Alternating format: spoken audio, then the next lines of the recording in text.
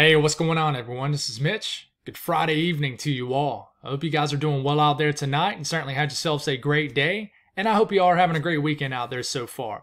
Thank you all for tuning in this evening. I think you'll find this video very helpful, very interesting, as we're going to speak on many things and we're going to, you know, take a look at what could happen over the next even 10 to 15 days. So, you know, guys, I don't like to speak on too far out just because things change so much. That's one of the things I've tweaked with this channel throughout the last couple years. I used to speak on the long range a little bit too much. Now I let things kind of ooze into the medium range before I really start to talk about a lot if it's going to be a high impact system.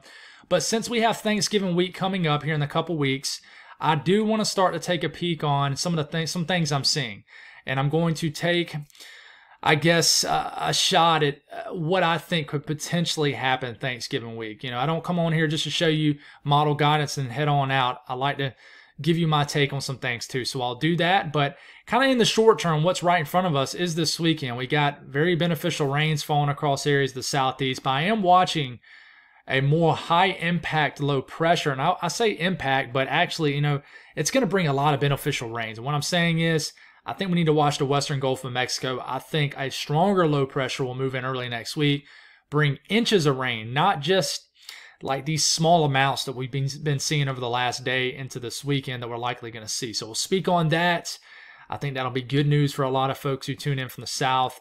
And then we'll speak on, you know, what could happen just next week in between both those time frames I've just watched. There could be some storm systems we need to watch. So, with that being said, if you folks have not subscribed, certainly consider doing that.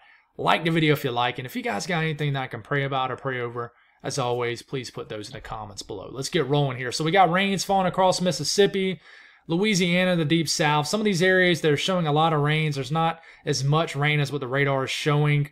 Uh, we know that um, this um, site does that sometimes. There's a lot of radars that do that. We call it Virga, especially like some of this moisture up here in the Northeast. I can almost guarantee you some some of this is not actually hitting the ground. But anyways, it's the general thing we're going to see out throughout the weekend. Just waves of light to moderate rain that kind of kind of oozes out the western Gulf of Mexico, continues to affect the coastal regions of Texas, Louisiana, the deep south throughout the weekend into the southeast. We got a system that is entering the Pacific Northwest. We spoke on that a lot this morning. This is going to bring a lot of heavy snow for those higher terrains of the Cascades, uh, the Olympic Mountains, places like that. We won't speak a whole lot on that system, uh, but we are going to speak on right in front of us these rains across the southeast this weekend into early next week. So let's go on and talk about that. So we'll start off this evening. H triple R model doing all right. Um, but as we're getting into the overnight hours, I think we'll have an area more organized, light to at times moderate rain that really gets going and takes over areas of Alabama into Georgia. Atlanta, Georgia is definitely going to get some uh, rain to, uh, overnight tonight. If you haven't seen much already today, I think I, I think, and I, I can't speak.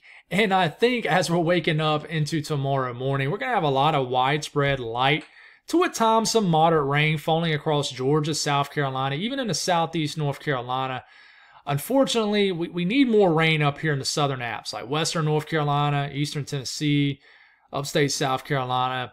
I just don't think this round, these rounds throughout the weekend are going to add up to much for you folks. But the good news is we are getting rains, waking up to some scattered, even some downpours potentially um, for Alabama, Mississippi. But you see all this moisture that continues to just kind of churn here in the western Gulf, in the western Gulf of Mexico. That's something we need to watch. But we continue to keep this going. We're getting to tomorrow afternoon. If you got any outdoor activities in South Carolina, Georgia, especially South Carolina, I know there's a game. Uh, I'm probably going to a football game tomorrow here in Columbia, South Carolina. It's only supposed to get into the 50s. Going to be light to moderate rain throughout the entire game. Not sure if I'm going to go. I'm probably going to end up catching a cold. But, anyways, you got outdoor activities across the deep south, the southeast. Chances are you're going to be dodging some raindrops out there, okay? So, we get into tomorrow evening. There's kind of a lull. There's kind of a break, right? There's not a whole lot going on. But as we are getting into Sunday morning, the rain begins to develop pretty much in the same areas where it left off Georgia, South Carolina. Look at Eastern North Carolina getting into this rain, though, now, okay? Very scattered about which just takes us all the way to about lunchtime Sunday, and you get you're starting to see a break, a clearing in the deep south. But this is when we really need to start to watch this moisture down here. So rainfall just between now and Monday morning, guys. I mean, this is the blend of all models. Uh, likely, and I'm going to show Texas here in a second too, but not going to add up much more. Uh, for Louisiana, Mississippi, maybe another quarter to a half inch of rain, uh, but we'll take it, right? Uh, Mobile, Gulfport could get a little bit more. And then I think the rain really starts to add up in Alabama and Georgia um, overnight tonight into the rest of the weekend. You know, south of Birmingham could get an inch of rain, Montgomery, an inch of rain, getting into Columbus, Georgia, just south of Atlanta, heart of Georgia, inch, inch and a quarter is very possible. And then we start to look into the Carolinas and the rest of Georgia. You know, could get from central Georgia to central South Carolina, even into the Piedmont, North Carolina, could get anywhere from a tenth of an inch of rain. Somebody could sneak out an inch of rain. Okay, this rain has a chance. The short range models have been trending more wet for South Carolina for tomorrow, especially. So, definitely could get some beneficial rains throughout the weekend. But, you know, not really a huge soaking, I don't think, but it will be a persistent um, light to at times, like I said, moderate rain, kind of an, one of those annoying rains that it doesn't quite know what it wants to do. Some areas just might see a light rain or just a misty kind of conditions. And I say annoying, but like I said, I think a lot of people will, will loves to see the rain in this case. So moving past the weekend, I'm gonna just I'm gonna show you the GFS and the European. We're going to start off Monday morning. What I want you to watch is this big, big plume of moisture. Now, this does show portions of Texas. Monday morning, we're starting off with a lot of heavy rain from Houston all the way down to Corpus Christi to um, South Texas. A lot of heavy rain. And this continues. We're starting to get into Monday about midday. Look at this area of very heavy rain. Okay, this is going to be some pretty heavy rain moving into southern Louisiana. We're starting to get into uh, Monday evening Rain. I mean, I'm talking about heavy rain too, some real tropical rains. Look at this low pressure developing. This looks like an El Nino setup to me. It really does. Now, models have been showing this low pressure for a while, but it has trended north. And I kind of spoke on that uh, the last uh, kind of several days back where I kind of thought that some of this energy that was kind of shunted down to the Gulf of Mexico had an opportunity to really trend north. And sure enough, this low pressure for early next week looks to do that. So we're getting a break in the southeast, but as we're getting into Monday, Monday evening, kind of Monday overnight, look at this huge area of moisture beginning to move in. And then we start to get into overnight, Monday into Tuesday morning. And by the time we get into Tuesday morning, guys, we get this is just a nice soaking rain. I'm thinking that's that's really overspreading central southern Mississippi, central southern Alabama, rain moving into southwest Georgia, still raining all the way back in eastern Tennessee, Louisiana, southern Arkansas, really coming down in these areas that have a D4 drought, an exceptional drought. Okay. And this is moving. This is getting to Tuesday midday. This is getting to Tuesday evening. Heavy rains, literally targeting these drought stricken areas. Relief is coming, guys. It really is. And then we start to get into Wednesday morning, and this is trended north all the way up into Tennessee.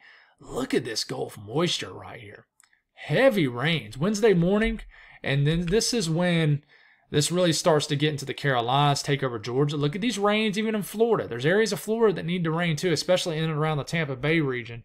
But we're getting into Wednesday evening. We got rains overspreading a lot of the southeast. And then we watch to see if this low pressure tries to redevelop off the coast of the southeast. And then we have to watch to see if it merges with some energy to the north, which we'll speak on here in a second. We're getting into Thursday of next week, six days from now could bring some rains into into the Carolinas. Okay, same thing with the Euro. We'll go through this a little bit faster. We're getting to Monday, a lot of rain. Tuesday morning, rain moving across all the deep South states, the Gulf states.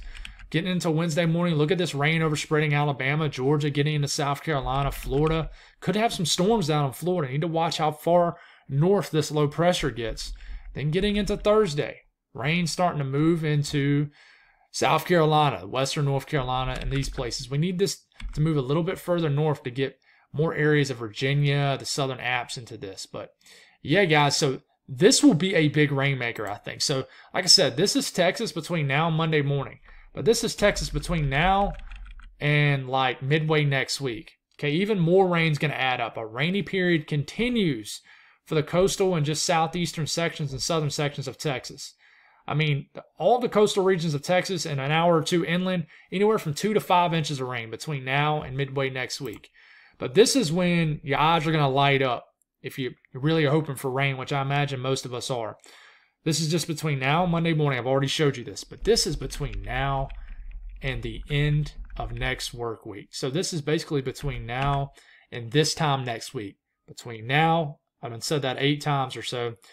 And this time next week, the next seven days, look at this multiple inches of rain, guys. Anywhere from three to five inches of rain. It's looking likely, possible, I would say possible to likely, across Louisiana, the southern half of Mississippi and Alabama, even into Georgia. And guys, you know, you start to get into Georgia too. I mean, look at this. All right, a lot of rain. Okay, even rain into Florida.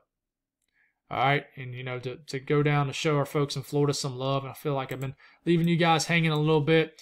Unfortunately, it really does jip you guys around the Tampa Bay area that really needs the rain. But let's hope that this gets better. This fills in a little bit more. Okay.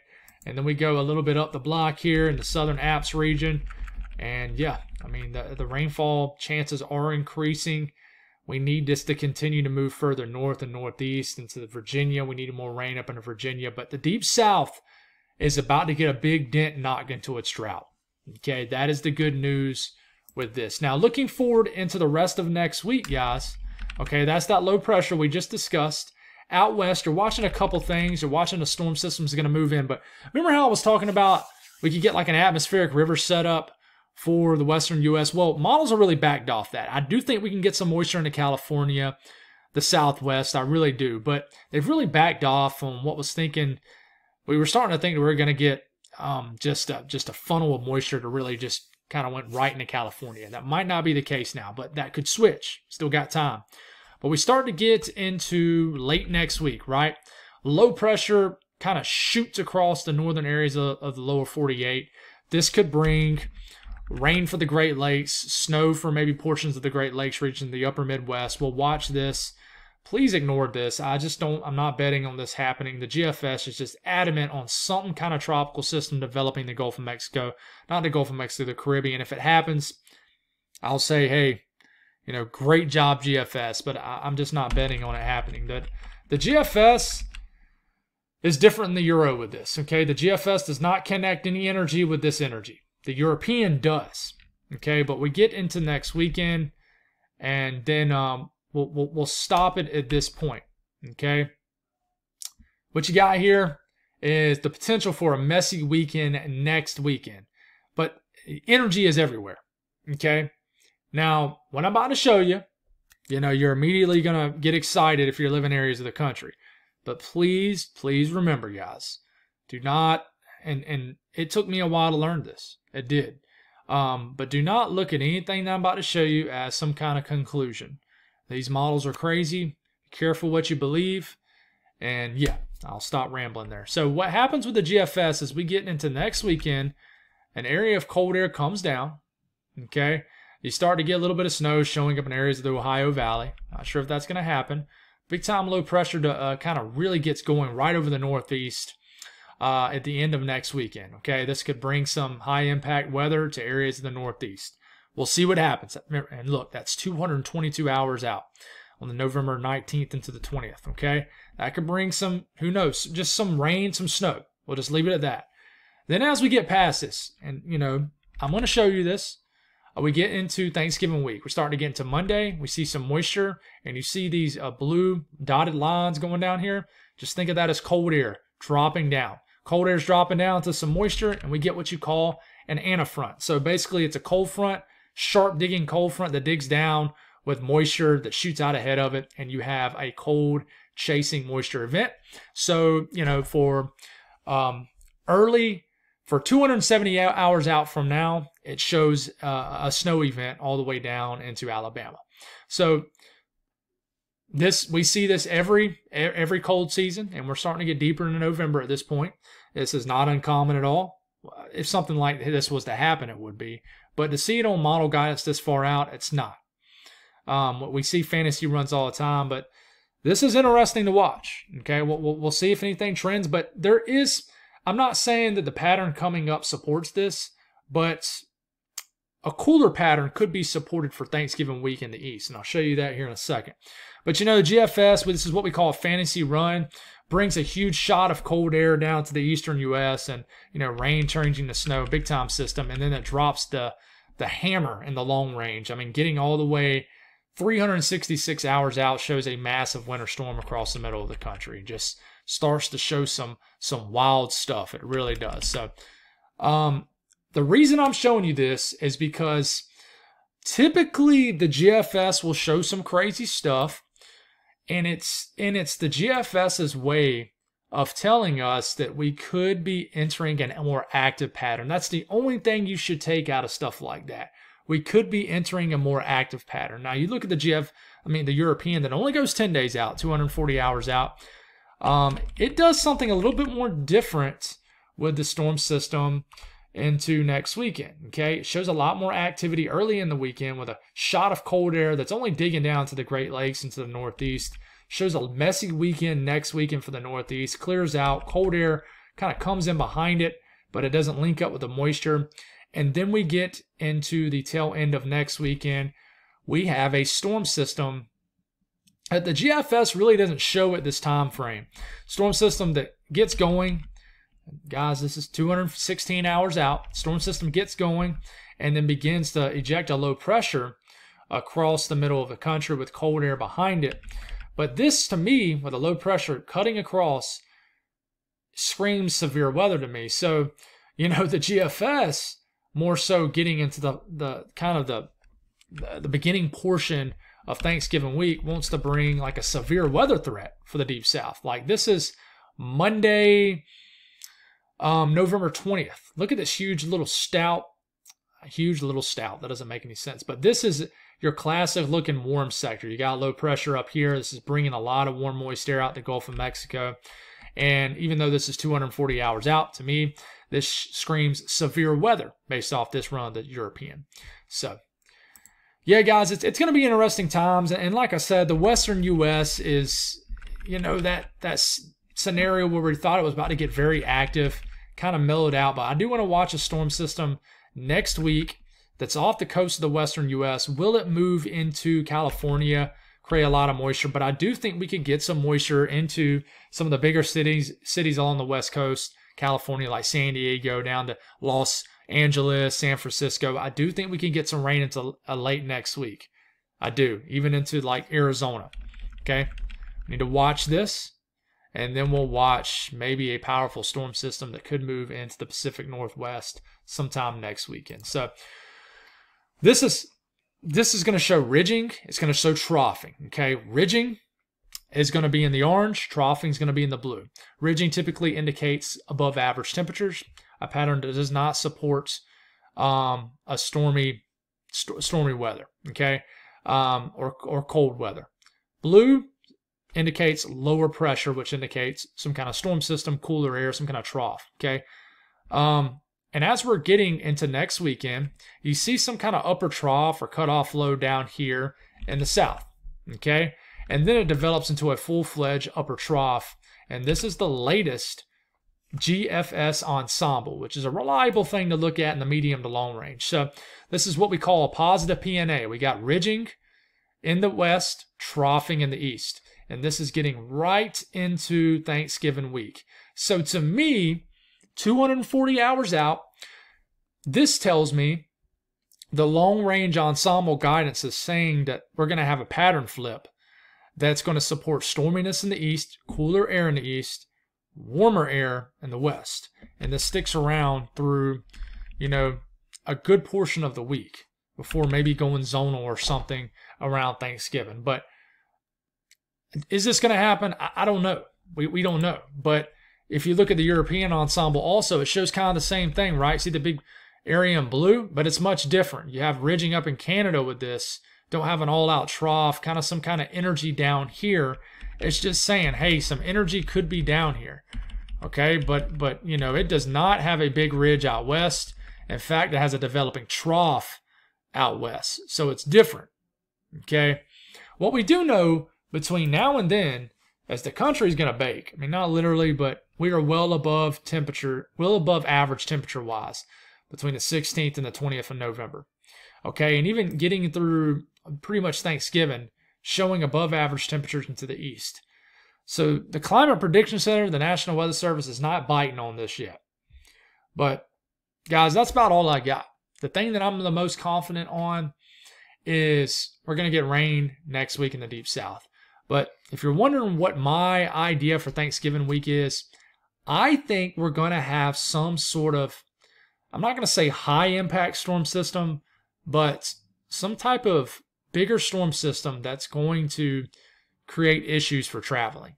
Is it going to be a severe weather event sometime Thanksgiving week? Is it going to be a winter storm, big time rainstorm, big time windstorm? We're not sure.